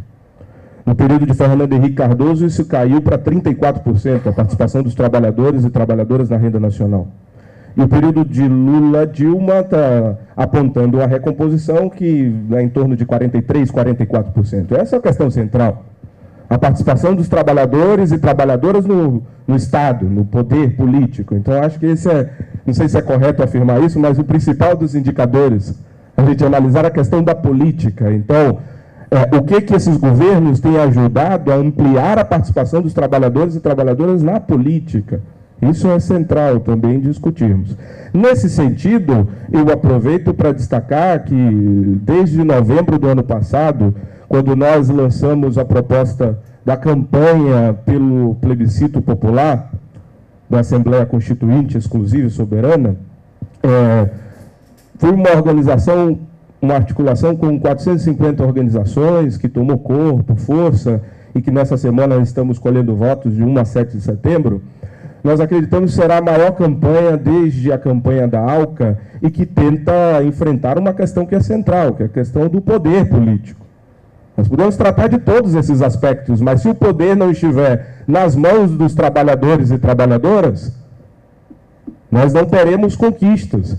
E nós sabemos que o poder político, o sistema político brasileiro é dominado pelas grandes empresas em nosso país, pelos bancos, pelo agronegócio, por setores que são inimigos nossos do ponto de vista de classe e de raça e de outros tantos aspectos, identidade, enfim, no geral. Mas veja, eles dominam a política brasileira. Hoje saiu um dado que são 69 milhões as três principais empresas doadoras de campanhas eleitorais, das campanhas eleitorais. OAS, é, Camargo Gutierrez e JBS é, Frigoríficos, né? o setor de Suriboi. 69 milhões. Veja, quando eu estava assistindo a discussão no STF do ministro, no momento em que o ministro Toffoli é, falava acerca da cidadania, como é que nós podemos auferir, dentro da discussão do direito, a questão da cidadania? Veja, o povo, o cidadão comum e a empresa. A equidade aí, a igualdade do ponto de vista da relação jurídica? Obviamente que não. Então a empresa tem uma participação muito melhor, com melhores condições na luta política, na participação política, na decisão dos rumos políticos do país, do que os indivíduos, os cidadãos. Então, há uma inconstitucionalidade em si, isso é uma aberração o nosso sistema político. Então, para nós, a questão do poder político é central. Todas as outras estão subordinadas à questão do poder. Concluo com uma, uma ideia de que, vejam, é, também a partir de estudos seus, antes disso, me permita a oportunidade, é, nesse processo de crise econômica, em que há uma nova divisão internacional do trabalho, em que o hemisfério norte e Europa concentram a, a, a produção de conhecimento, tecnologia, é, que a África e a América Latina seguem como produtores de matéria-prima, recursos energéticos estratégicos para, para a valorização do capital central. E a Ásia é, tenha concentrado hoje a classe operária no mundo, é, 80%, salvo engano, os dados que você tem explicitado da indústria manufatureira, está hoje localizada na Ásia. Vejam, eu acredito que uma estratégia revolucionária de caráter socialista deve ser recomposta no nosso país e no continente nos próximos anos. Não se faz o socialismo sem o protagonismo do proletariado, da classe trabalhadora. Eu gostaria de perguntar, portanto, é, essa classe trabalhadora, recomposta pelo período do neodesenvolvimentismo, que criou melhores condições em inúmeros aspectos, ela terá capacidade, na tua avaliação, de ser a linha de frente do aprofundamento do do reacesso de massas que, na nossa avaliação, secretário Albino, é, as manifestações de 2013, ela primeiro evidenciam a contradição com o sistema político e aponta de um reacesso.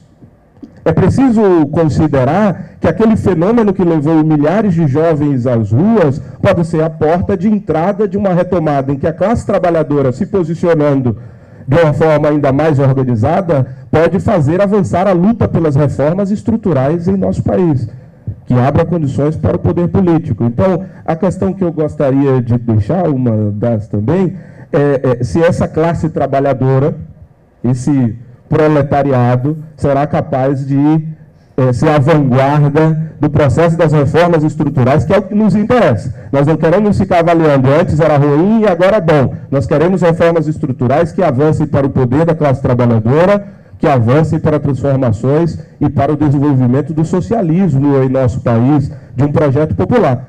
Para começar, nós precisamos construir verdadeiramente a campanha do plebiscito. Portanto, todos e todas que puderem participar desse processo, o companheiro Leonardo Lima está ali atrás, o companheiro Lenilton são do plebiscito popular na Bahia, estão coletando votos para a gente dizer sim para mudar o sistema político brasileiro. Muito boa noite, parabéns pela atividade. Vamos lá? Penúltima pessoa escrita.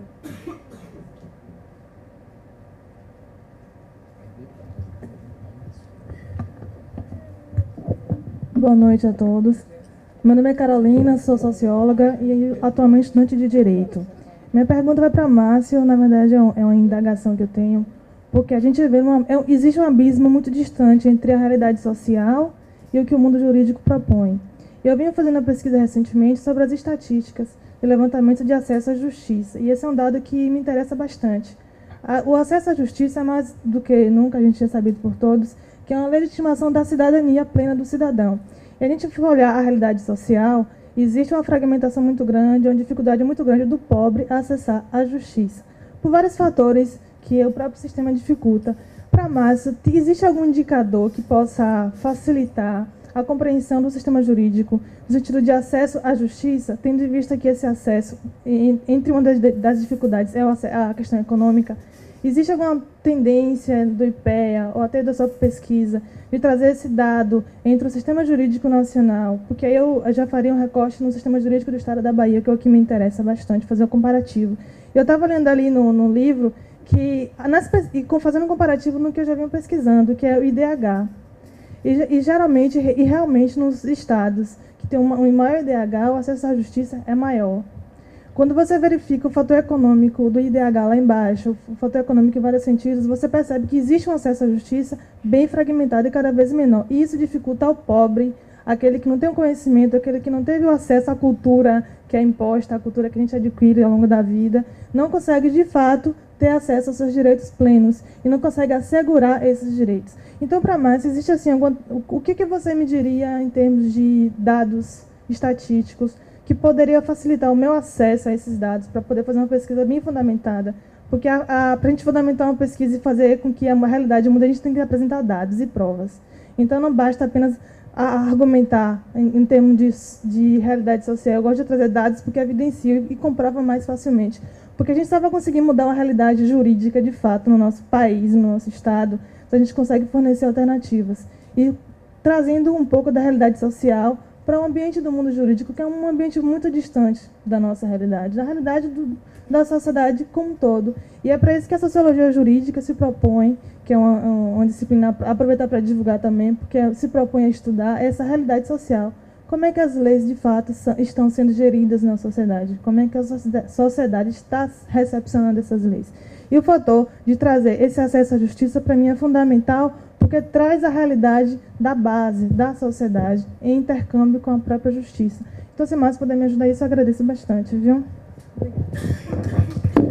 Obrigada. O último inscrito se inscreveu? Não. Então, tá bom. Vamos lá.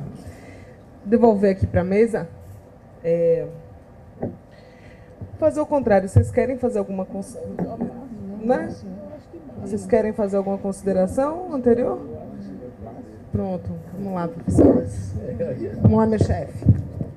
Bom, começar então agradecendo aqui a, as considerações, as questões, inicialmente pela, pela pertinência e profundidade eh, com que Raimundo eh, levantou a problemática da, da questão racial, né, que é de fato é, algo que alguém já no século XIX, um pouco já em desuso, mas dizer que o primeiro passo para mudar a realidade é conhecê-la. Se não conhece a realidade, a gente dificilmente vai, mudá-la. Então, o papel do, do, estudo, da pesquisa, é revelar a, realidade tal como ela se apresenta. Né? Eu, mesmo em relação ao secretário Barreto, a pertinência em relação a questão educacional no Brasil, é? de fato, nós tivemos um avanço considerável, especialmente a partir da Constituição de 88. É, infelizmente, nós somos um país que se constituiu enquanto república é, em 1889 e levou 100 anos para universalizar o acesso ao ensino fundamental, o que é, de fato, uma, uma agressão à, à, à perspectiva republicana é, que supõe, é, pelo menos, uma igualdade é, do acesso à educação.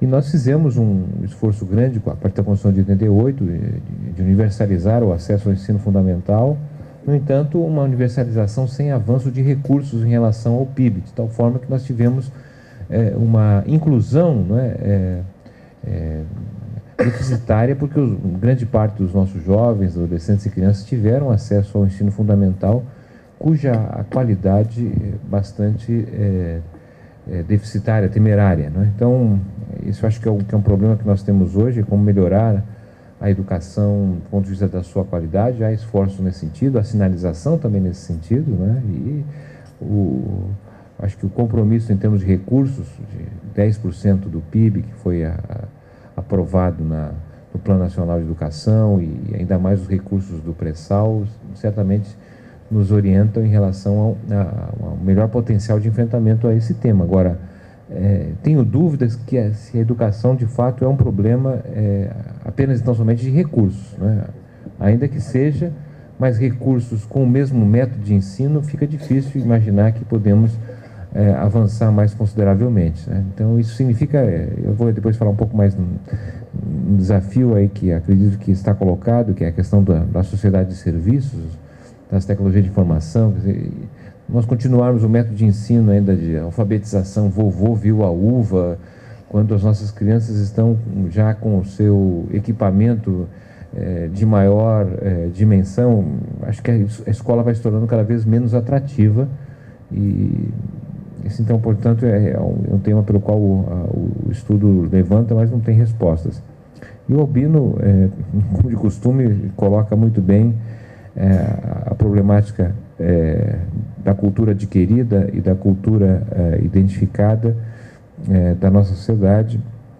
Bacana também é, destacar aí a, que, de fato, é, determinados avanços se deram no, no, regime autoritário, e não é só na cultura, quer dizer, tirando o período constituinte para cá, os avanços na, na política social também se deram no período autoritário. Dizer, a consolidação das leis do trabalho, a CLT de 43 do Estado Novo, a, a, a integração dos trabalhadores rurais né, nas políticas é, de previdência é, e, e, do trabalho também se deram a partir dos anos 60, né, ainda que o Estatuto do Trabalhador Rural é 63, mas pegando o Fundo Rural, por exemplo, já dos anos 70, então essa, é, a democracia é, realmente é um, é um, elemento importante que quando ela univer, busca universalizar de maneira geral a universalização que ela oferece é uma universalização de baixa qualidade. Né? Então, realmente é, um, é, algo que diz respeito à questão de recursos e, e do método a ser estabelecido. Bom, eu acho que foram várias questões e considerações muito importantes, mas não, não tenho assim, condições de respondê-las, dado a, a, implicância que elas têm. Não é? eu, eu, eu queria aqui falar sobre. É, quatro pontos que, de certa maneira, respondem ainda que diretamente às questões aqui formuladas. É, ainda sobre os indicadores, dizer, obviamente o índice de exclusão pode é, incorporar uma série de outras, é, outros aspectos. Né? É um indicador síntese que serve para orientação de políticas e, ao mesmo tempo, serve para avaliar se aquilo que está sendo feito, do ponto de vista social, altera a realidade social. Né? Porque, no plano econômico, digamos assim, é, os governos, de maneira geral, tem uma equipe econômica, tem um coordenador da, da, área econômica, tem indicadores da área econômica que permite avaliar, é, por bem ou por mal, se a economia vai bem. Né? Nós temos hoje metas de inflação, né? o tal de metas fiscais, superávit fiscal. É, isso, de certa maneira, dá para a sociedade acompanhar. Tem os comentaristas econômicos, analistas econômicos, diz que a inflação subiu, está acima da meta, está abaixo da meta, esse ano as finanças estão boas porque o Estado, tá, o governo está conseguindo gerar o superávit. Bom, não vou entrar no mérito, mas tem indicadores e a cidade de maneira geral sabe acompanhar. Quando a gente olha a questão social, de maneira geral, os governos não têm coordenador da área social. Tá certo? Não tem indicadores da área social. Não, claro, cada área tem os seus indicadores, mas quais são os indicadores que apontam para a sociedade, de forma muito simplificada, avaliar se está melhorando ou não está melhorando? Podemos trazer aqui representantes de vários governos, todos os governos não, no meu governo gastei X bilhões na área social, fizemos. Mas mudou ou não mudou a realidade?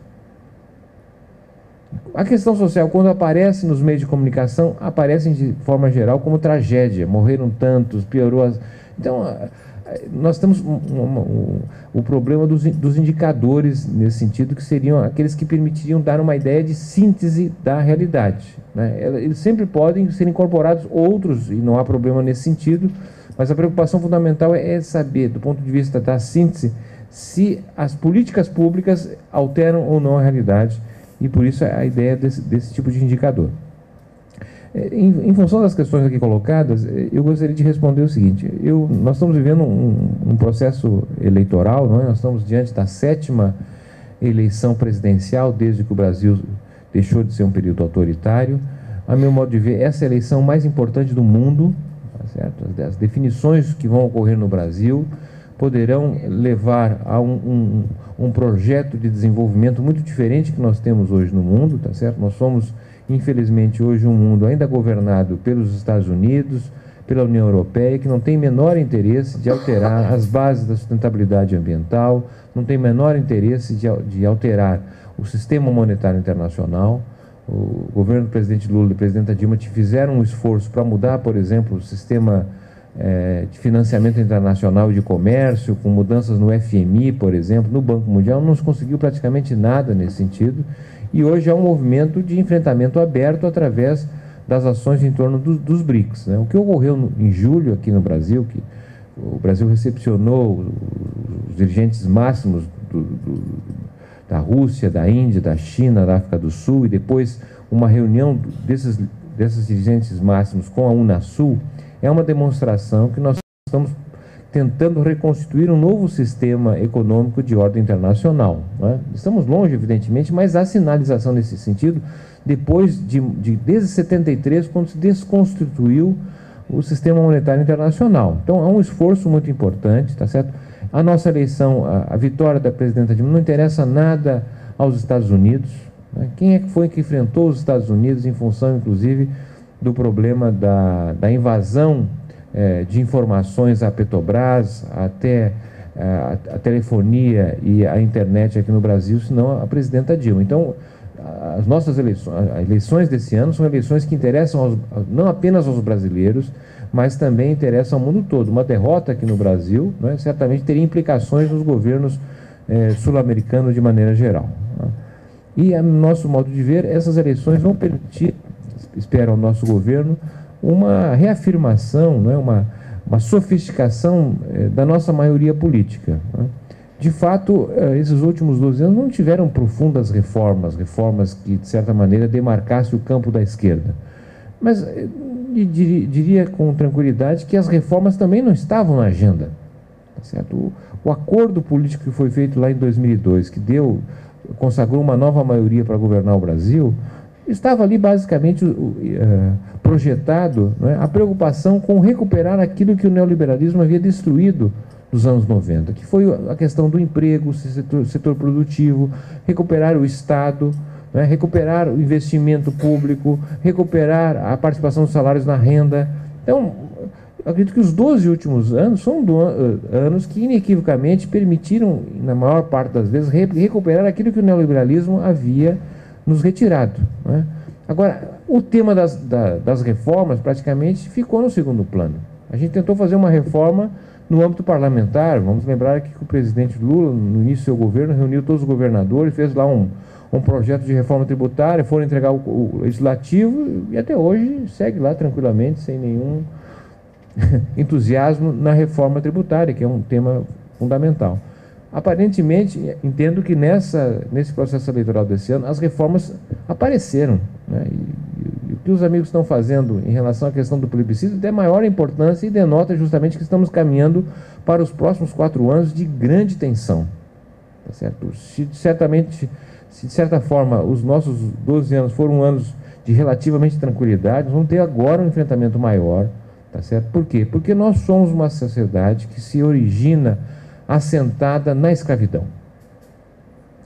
Ah, o final do século XIX para cá, ela permitiu transitar da escravidão numa sociedade cuja a base da sociabilidade se dá através da desigualdade, através dos privilégios.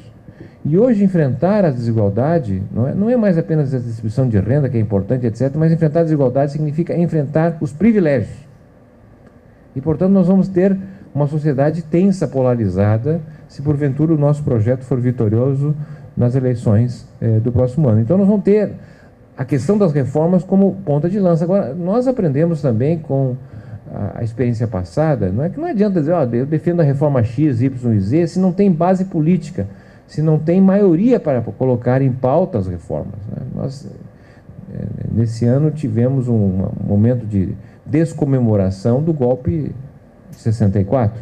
E o golpe, o que foi? Um golpe foi a, as propostas de reformas que se estabeleceram no início dos anos 60, comandadas por João Goulart, a partir do Partido Trabalhista Brasileiro, que estava no governo.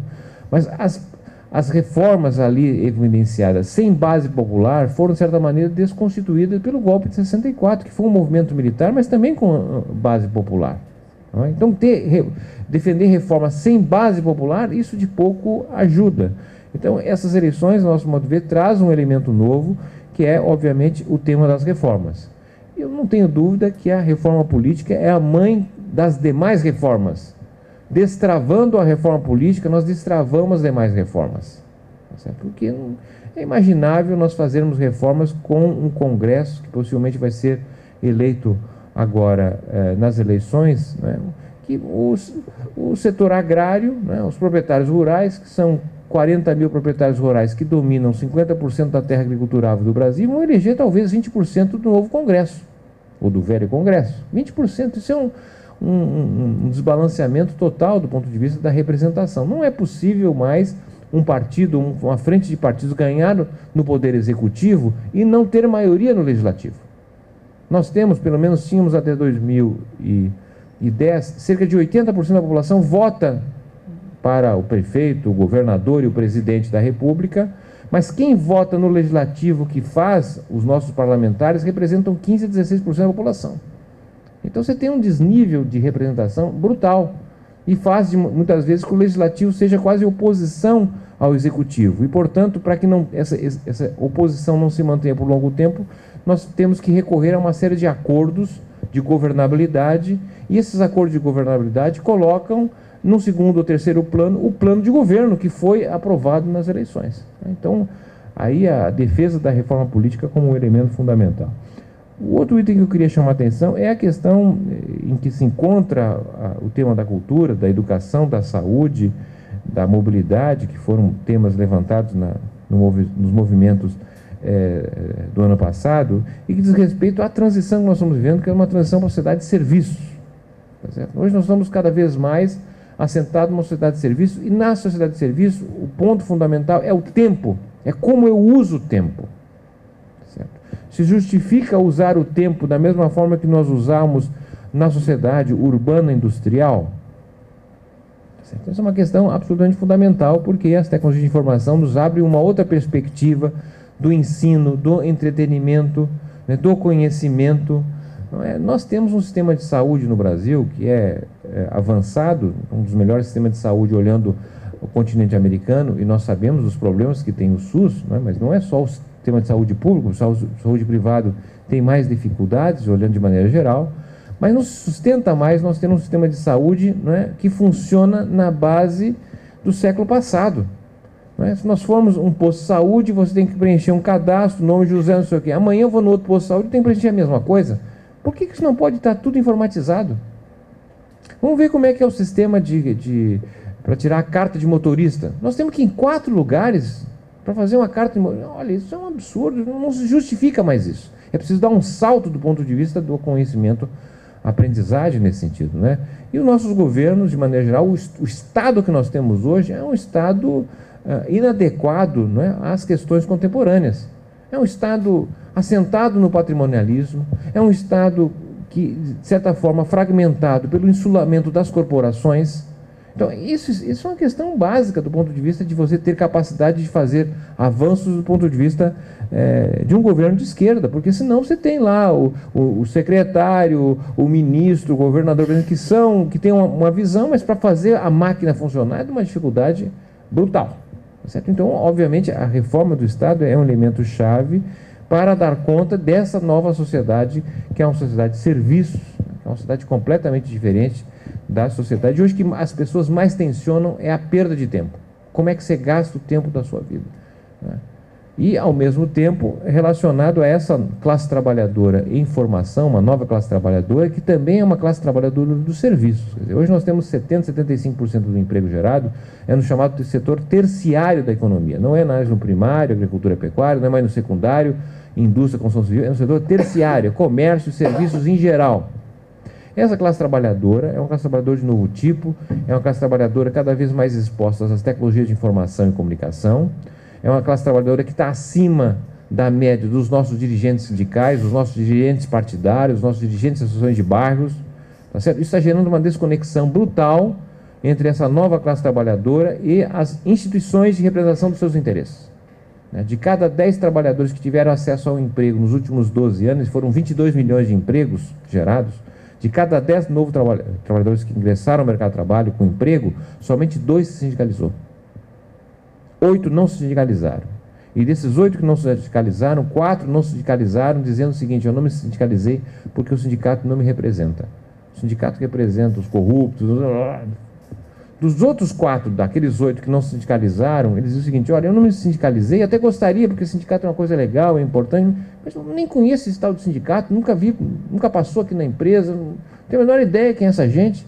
Eu conheço o endereço da Justiça do Trabalho, mas do sindicato eu não sei. Certo? Isso é uma demonstração, e eu poderia falar aqui do movimento estudantil. Né? Nós tivemos uma ascensão de quantos milhões de jovens no ensino médio, no ensino superior. E quantos desses que ascenderam foram procurar um movimento estudantil? Não significa dizer que o acesso ao ensino superior é uma maravilha, tem uma série de contradições, a qualidade do ensino, por exemplo. E isso são questões que, obviamente, demandam, são anseios, e o movimento estudantil não consigo trabalhar com isso. Pegam a questão das associações eh, de moradores, associações de bairros. Né? Nós tivemos quantas? 1 milhão e 700 mil novas habitações para famílias de baixa renda e é uma série de contradições, né? uma vez que o programa Minha Casa Minha Vida depende da participação do, do, do, do município, do prefeito, definir os locais. E quanto das novas casas, dos novos prédios foram estabelecidos em locais que não tem transporte público, não tem posto de saúde, não tem escola, não tem praça pública, tem contradições enormes. E essas contradições não estão sendo trabalhadas pelas associações de bairros. Então temos uma desconexão, a meu modo de ver. Né? Eu não sei explicar se essa desconexão se deriva de um problema de direção das instituições. Se for um problema das direções, até acho que é o mais fácil, porque de algum momento essas direções vão ser renovadas e vai vir gente nova, gente indexada com essas, essa nova classe trabalhadora, vamos dizer assim. Ou se é um problema das próprias instituições que não dão conta mais disso. Aí a questão é até mais grave. Tá os, os, partidos que nós temos hoje têm capacidade de se conectar com esse novo mundo do trabalho? Os sindicatos, né? associações de bairro, bom, isso é uma questão em aberta que eu não, não sei muito ainda o que dizer. Mas, de fato, é um novo proletariado. Esse proletariado é um proletariado, a nosso modo de ver, não é? com uma capacidade de entendimento superior à classe trabalhadora anterior. É? Mas ela não se convence mais com, uma, com um discurso qualquer. Tá certo?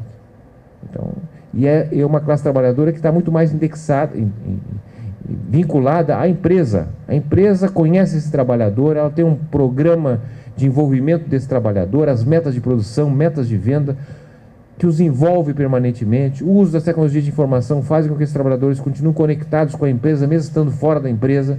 Então, precisamos conhecer muito melhor esse novo mundo para poder ter uma atuação muito mais direta e indireta.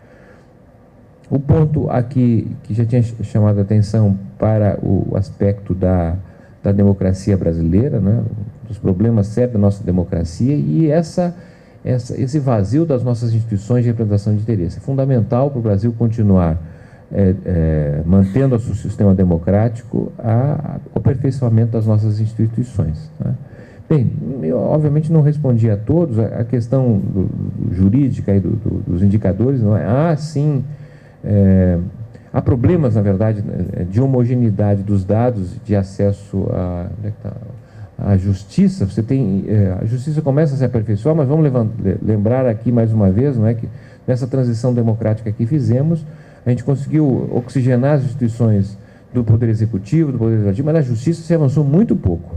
Tá a justiça segue ainda uma caixa preta. Há avanço, a justiça do trabalho, por exemplo, tem uma série de indicadores que é possível acompanhar, bancos de dados, mas isso ainda não é verificado em todos os ramos da justiça. Tá? Mas há ah, ah, vários aspectos que podem ser considerados do ponto de vista de um, de um levantamento, uma análise do acesso da justiça no Brasil por segmentos etários, segmentos de renda e assim por diante. Tá? Luciana, eu agradecer aqui a tolerância de todos, muito obrigado pela sua capacidade aqui de controlar o tempo e permitir a difusão aqui do nosso debate e aos nossos secretários. Muito obrigado.